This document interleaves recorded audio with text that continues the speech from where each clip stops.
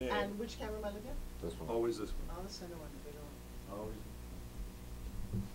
So your name, Uh-huh. um, that's not my phone. Your name and, um, uh, what title do you want also on the, and spell your name, so let's get that for me. All right, let's do that first. And we're rolling. Hi, everybody, I'm Forbes Riley. Forbes like the magazine, F-O-R-B-E-S. E Riley is in the good life, R-I-L-E-Y. And what do you want with you as a title? Sex goddess. Sex No, actually, what I- Goddess, I like that one. Um, We can use that. TV, celebrity TV host, health and fitness expert is my moniker. So sex goddess, celebrity. TV, yes. Make sure it has sex goddess in there in quotes. Okay, um, so your name and it's Moretus Rainforest Should Not Die. Why is this important to you? Why is breathing important? Why is clean air, food, medicine important? Or is it not at all? We should just keep partying until we burn it to the ground. Hi, everybody. I'm Forbes Riley. I'm here for a very important film called Moratis Rainforest Should Not Die. Now, you might ask yourself, what is a rainforest? Where is a rainforest? And why do I care? Well, I've got two 12 year olds, and they're both in seventh grade. And I don't know if you remember way back when we talked about how oxygen is formed in this planet, how medicine comes to us, and how important nature is. They're studying science. My daughter asked, Mommy, why do I need to know about science? Well, because science is all around us. I've been a health and fitness expert most of my life. And my personal environment is the human body. And I'll tell you what, we put crap in our body all day long. We really do. Processed foods, we throw away the plastics it comes from. We don't treat ourselves very well. Well, let me tell you something. Rainforests are a global issue. That is where most of our oxygen comes from. The fact that the, the green leaves and the way that it processes oxygen actually cleans a lot of our environment happens in certain parts around the world. Certain parts around the world that people have chosen to cut down, destroy, use for timber. The crazy thing about the world we live in right now is that it's not about money. I don't care how much money you have. If your water is polluted, your air is not breathable, and you don't have good clean food and water to drink and eat, who cares? So this is the first step outside of yourself. There's a lot of little things that you can do. One, I'd watch the film. Two, I'd figure out what and where the rainforests are. Maybe even visit them. Figure out why they're so important. Have you ever taken an aspirin or any kind of drug or medicine? Did you know that most of our medicines actually come from the rainforest? We kill those ecosystems, and we kill ourselves. So I'm going to urge you to do a little research and look it up. Why is it so important to you? And then what are the steps that you can take? Baby steps. Learn about recycling. Do you even have a recycling can or a bin? Do you know where your center is? Do you know why it's important? So you take the plastic that you've had a little water in, right? You throw it away. If you throw it in the wrong bin, it ends up in the ocean. It ends up destroying everything. We can't survive on this planet if we don't act as a team. If we don't look at one another and say, hey, don't throw that cigarette butt out the window. You know where that ends up? You know what bird eats that? You know that that bird dies? You can't do that. So I'm going to urge you to take your very first step. Watch the movie. It's fun. It's enjoyable. It's educational. And I'm in it. but I'll tell you what, the best part here is if we can do this before it's too late, we're going to have a happy, healthy life together. And as my dear friend Kermit the Frog says, it's not easy being green, but it's really important that we are. That was beautiful. Could you just do a pickup tag with, um, go to moretusrainforest.com for more information? As long as you don't keep Is it it miratusrainforest.com? Yeah. It is moretusrainforest.com. You're And on. yeah. and to learn more about this, make sure you go to moratisrainforestsshouldnotdie.com. because we couldn't find a longer title. Okay, so um, there's tons of great stuff in there. I couldn't have coached you better if I tried. That is probably the best one cold that we have had yet. And Ed did some amazing stuff, and so did Elto. But I really liked how you structured it. Um, so, did you know that this year we deregulated the EPA? What? Yeah, Environmental Protection Agency. Okay. Did you know that? I did not know. Okay.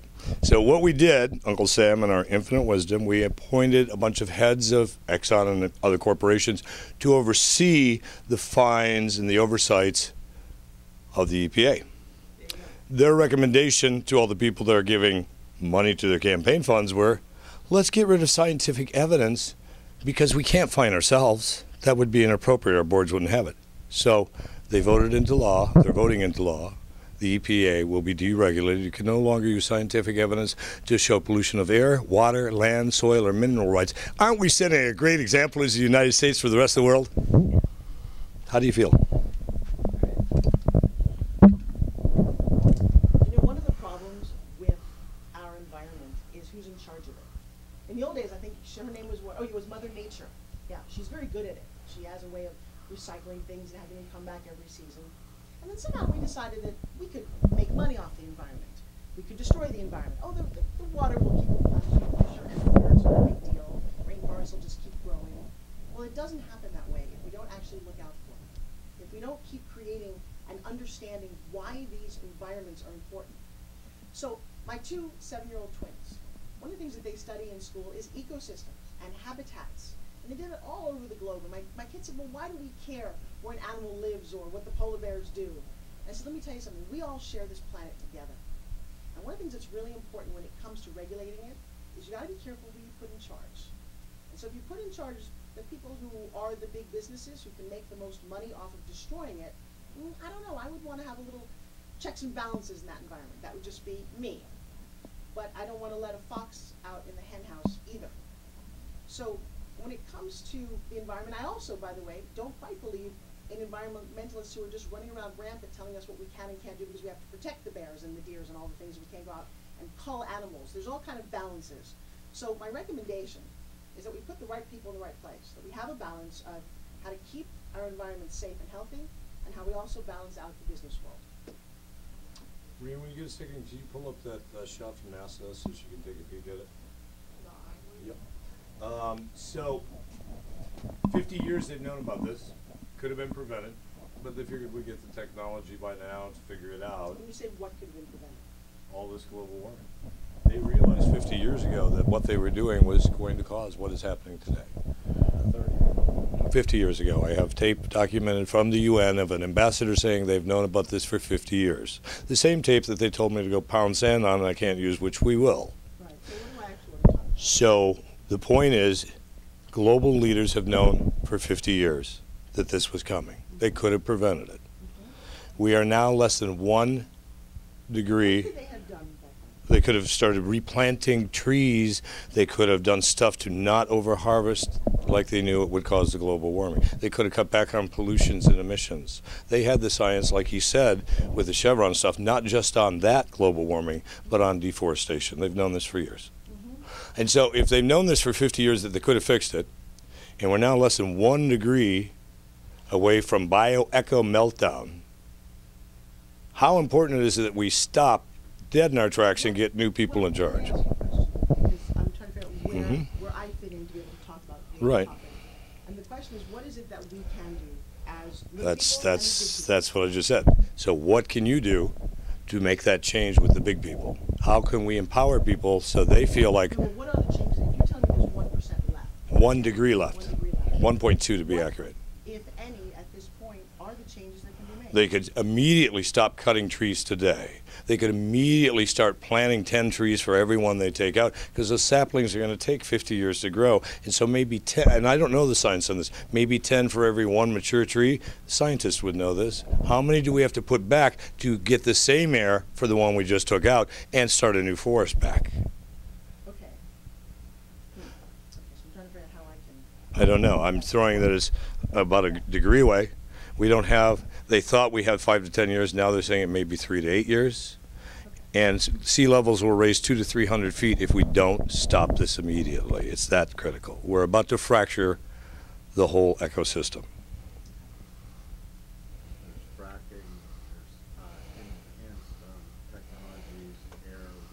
Well, in fact we're pulling out of the rainforest 10 to 20 million trees a day. That's a lot of trees. Multiply that by 365 days. How many millions of trees? It's a reality. You know, I, I know, I know it is. If you look at the global satellite views of the rainforest, even five years ago, they've been diminished by almost 60%. Is that serious? So I think the question though. So if you cut out 40% of your lung I capacity, know, no, but I know in the context of your film, Right. people simply state what they believe or tell stories or I, well, I'm, I'm asking questions and then getting responses from people, and then we can clip around it to make it work with the storyline. because these are the facts that will Okay, I'll- I'll lead into that. Yeah. I'll give my version of it. There you go. Exactly. It's got to be about you. This is your pitch to the world, not mine.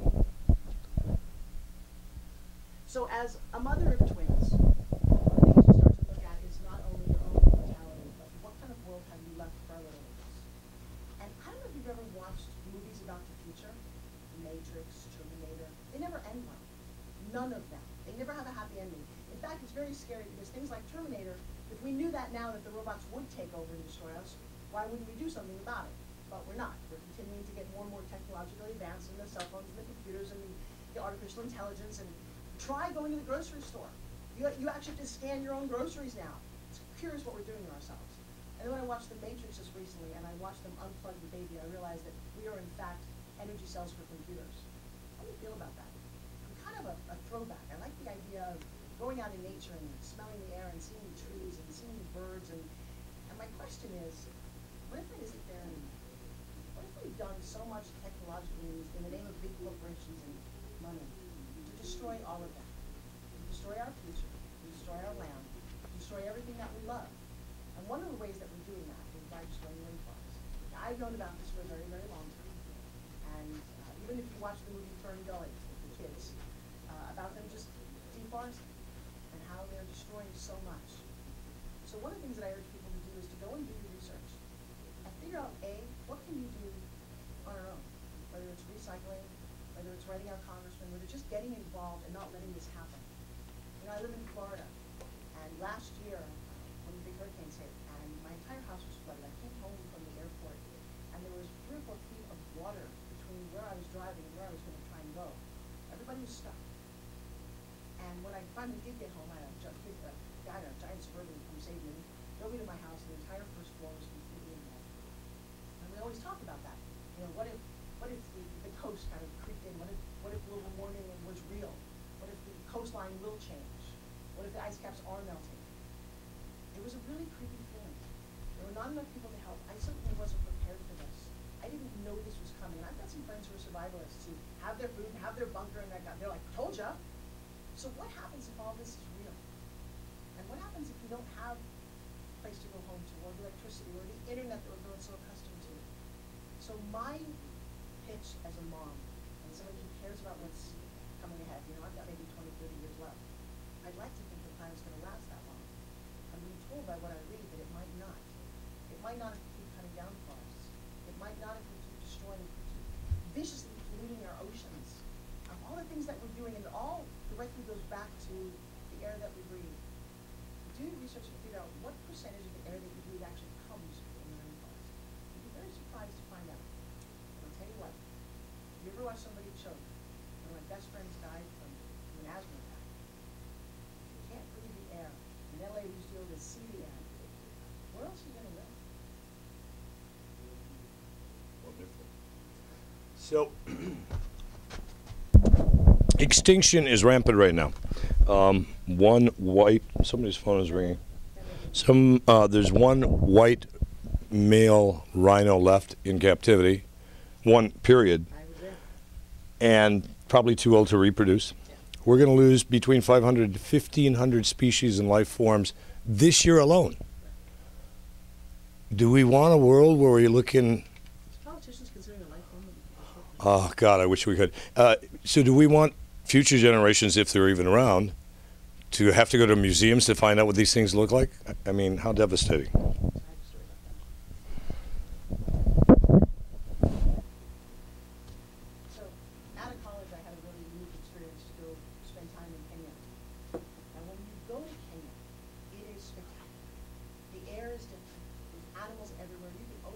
Walk out among giraffes at certain parks.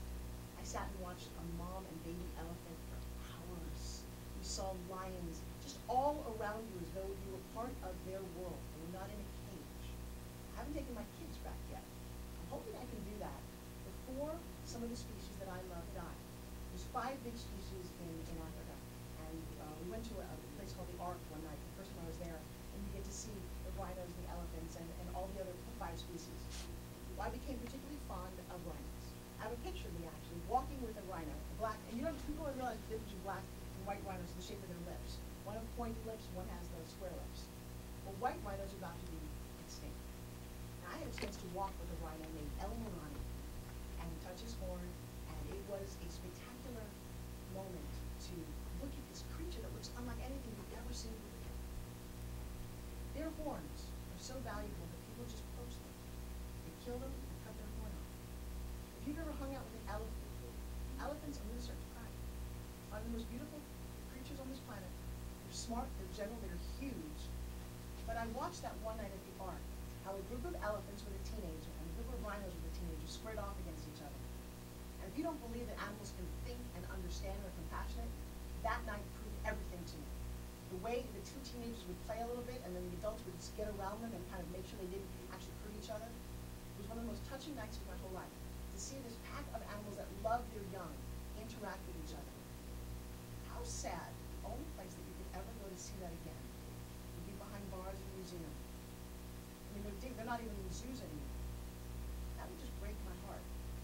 So when I was there, I actually worked a lot with the anti-poaching community. There is no piece of ivory that is worth an elephant's life. None. And if you think there is, shame on you. If you look into their eyes and you see the history and you see the elegance of these creatures, to kill them so that you can get something that's instinctively theirs is not only a crime against everything that I personally believe in, but it just shatters my belief in humanity. So my plea when it comes to killing animals and extincting species like that would just be to reach out from my heart and say, please, don't do it. Don't do it for our kids. Don't do it for them.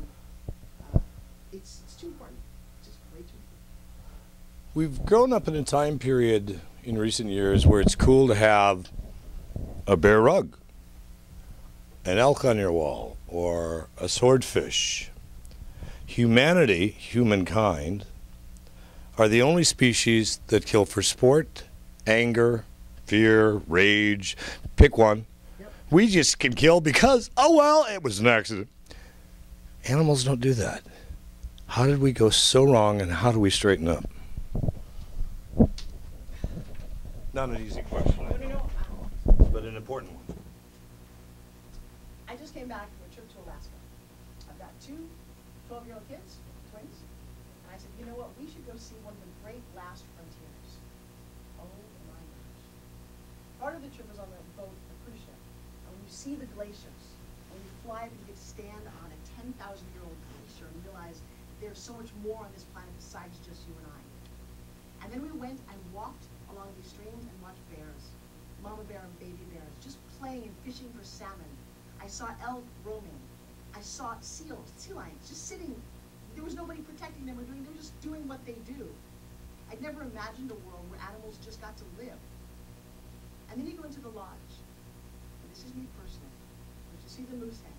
You see the stuffed bear. You see a lot of animals just kind of hanging all over the place. I personally have never quite understand being able to kill an animal for sport. I just don't get it. Now, if you eat the animal, that's great. In fact, I went fishing, I fishing with my kids, and we caught tons of fish, and I took a photo of it. We had salmon, and we had bass, and we had halibut, and I posted it on Facebook, and somebody said, oh my gosh, you Americans are terrible, look at all that carnage. It wasn't carnage. We actually cut up the fillets, flash froze them, and took almost hundred pounds of fish home, gave it to homeless shelters, threw parties, and for the first time in my life had fish that we actually caught out of the ocean, doesn't get fresher than that. So we weren't about just killing for sport. And here's the deal, you know, you can't eat bear meat. You kill a bear, unless it's attacking you, or you need to cull down the population, shoot one just because you said you can, just destroys my heart. So, I'm not fanatical. I understand that we wear leather on our shoes. I have owned a fur that my mom gave me and I love it. But unless you really need it, and in today's day and age with seven billion people on the planet, I don't if we can afford to keep doing this. And one of my biggest fears is that as human population gets bigger and bigger, we keep encroaching on the animal population. So when a bear is found mauling somebody, maybe it's because they were in its territory. And you don't get to put your bear in your car and watch him drive and drive and wonder why they attacked you.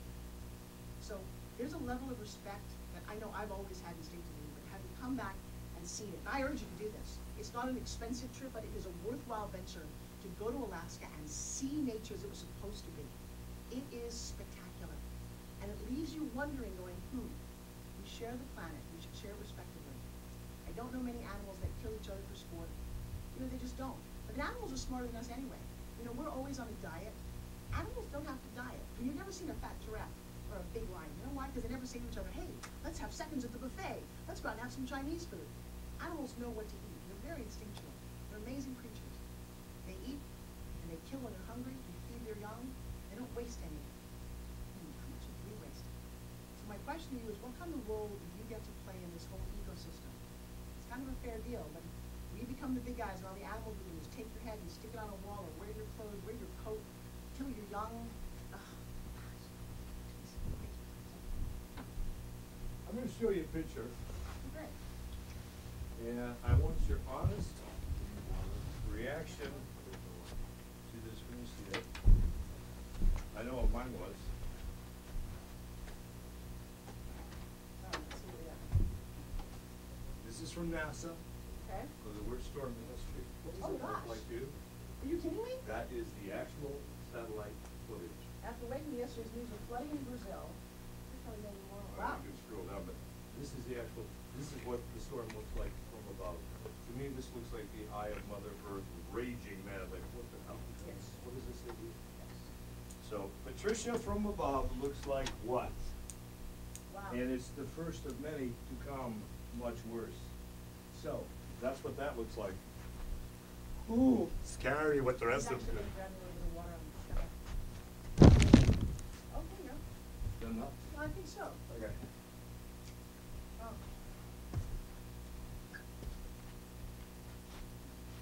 You're doing great. I really love the stuff you're, it's very passionate, it's articulate, Well, I have it's clean. Care about this. So do I.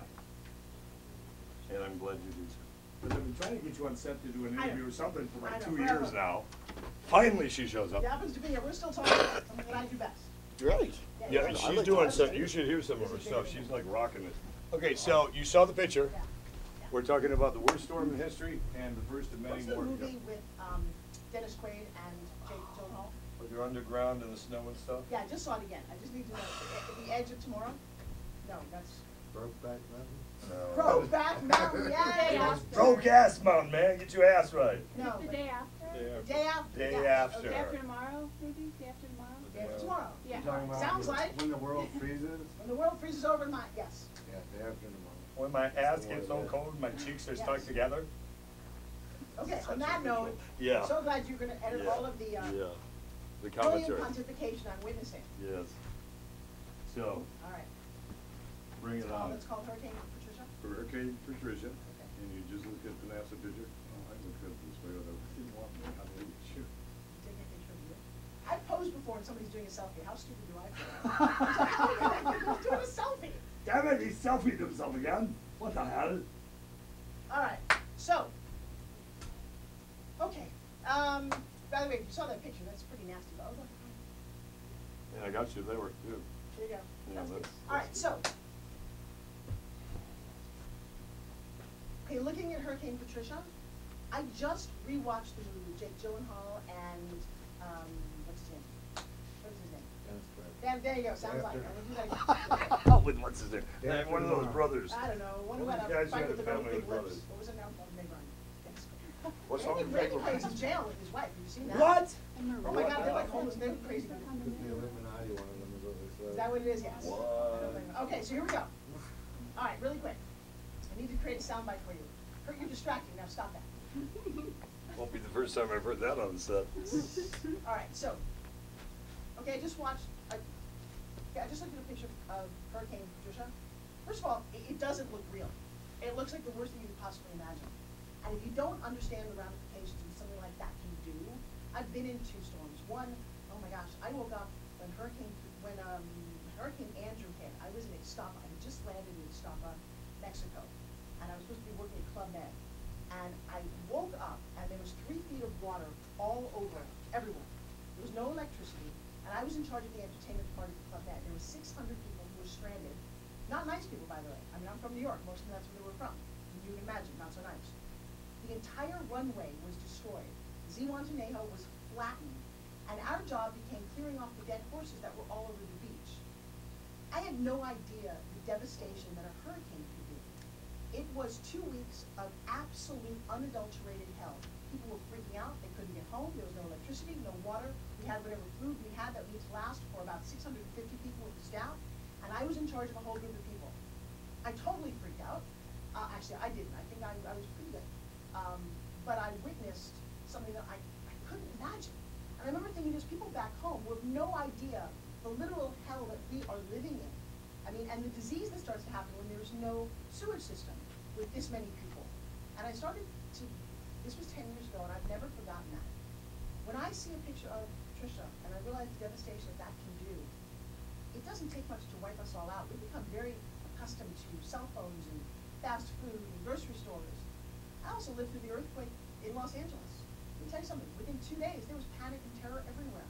Literally, the gas stations were empty, food, grocery stores had been looted, it was insane. We actually locked our doors and kind of hunkered down until all the panic went away. And that was a little tiny earthquake in the middle of Northridge, nowhere in California. What happens if something really massive happens?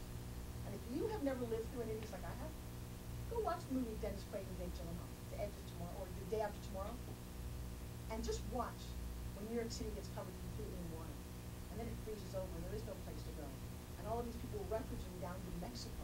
It was a fascinating concept just to watch. When and if this really does happen, who's being trouble? So the question is, is there anything we can do to stop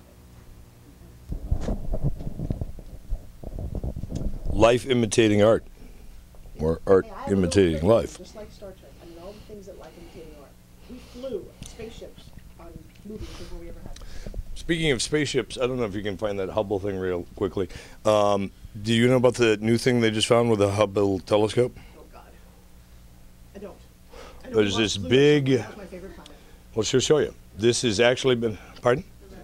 No, no, she saw that. I'm talking about the one that has the the spaceship with the big brown sphere around it that was seen by Saturn or Jupiter or somewhere. As in a real Check on Facebook. Y- y- Yeah, it was discovered by the Hubble telescope. So maybe we're not the. Yeah, we're not the. Uh, probably on the live video page.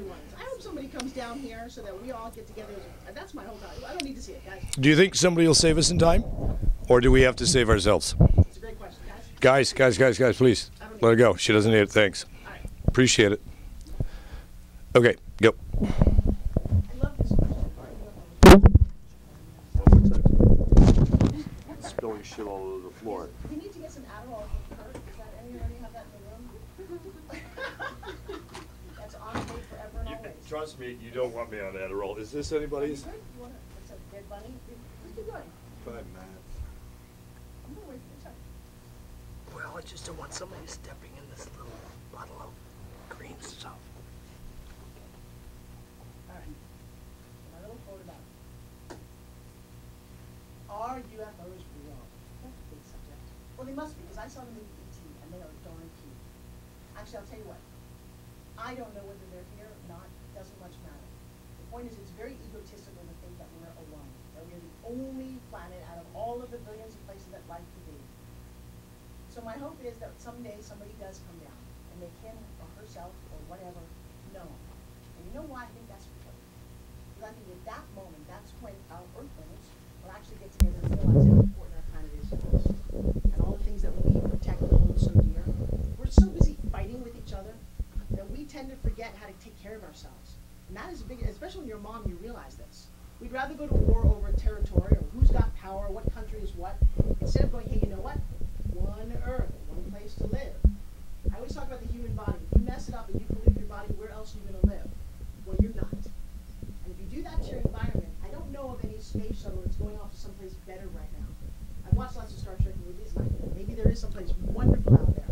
I'm not going to live to see it. I'd like to enjoy the beaches of Hawaii. I watched when the tsunami went and crushed Sri Lanka and all of that, and how, how horrible that could be.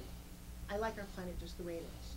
And so my personal commitment is to fight very hard to keep it this way, to make sure that we do our little part, that we recycle. Just that's the simplest little thing you could do. In fact, it's kind of a crazy thing. Here's an experiment my kids made me do. Do not throw out the trash for a week. Do you know how much trash a family of four creates in a week?